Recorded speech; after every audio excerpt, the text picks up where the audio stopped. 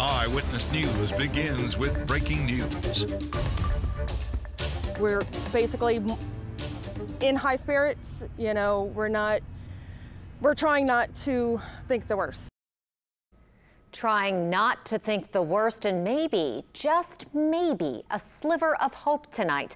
Breaking right now at 5 with the Coast Guard releasing new information about what they found and what they're telling those terrified and exhausted families about the capsized vessel and its missing 12 men. Good evening, everyone, and thanks for watching. I'm Katie Moore. And I'm Karen Swensen. Any hope is so needed right now. We need to get right to Danny Monteverde. Yeah. Danny's joining us live from Fort, Port Fourchon tonight. Danny? Uh, Katie, late this afternoon, the Coast Guard sends word that they say there is some sign that there might still be people on that capsized lift boat. That comes after guardsmen were able to get near it today. Now, Marion Kyler, who's the fiance of Chaz Morales, he's the man whose family we met last night at 5 and 6, says that the last few days have been agonizing, to say the least. But she says tonight they're holding out hope that there might be some good news sometime soon. The fire station in Port Fourchon is where Marion Kyler and family of 11 other missing crew members are waiting for news. Any news from the Gulf. Kyler's fiance, Chaz Morales, was on the lift boat when it left port on Tuesday afternoon.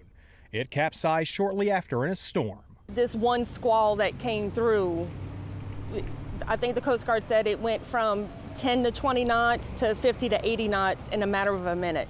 By Thursday, two agonizing days later, Kyler says divers were able to get to the boat.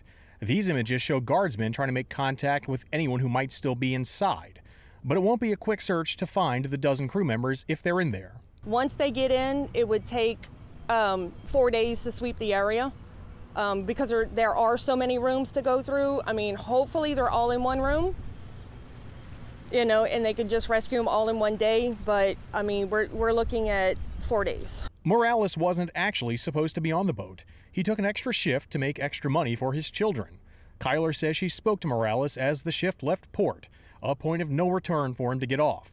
She wishes he hadn't gone. I am angry that that boat went out, and I asked who gave the order, and of course, silence.